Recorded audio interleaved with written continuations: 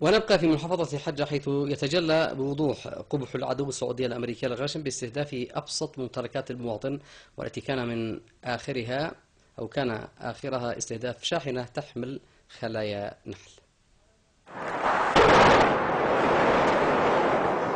لم يكتف العدوان السعودي الغاشم بقصفه للمساكن والأحياء الآهلة بالسكان ولم تقتصر غاراته الجوية باستهداف المنشآت العسكرية كما يزعم.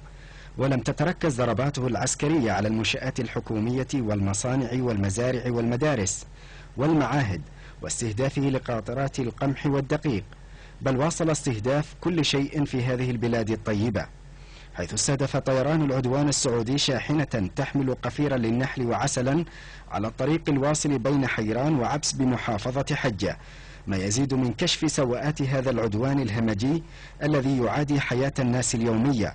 وإصراره على مواصلة نهجه العدواني تجاه أبناء الشعب اليمني وتدمير ممتلكاتهم العامة والخاصة. فأين الأسلحة؟ وأين الذخائر في هذه الشاحنة؟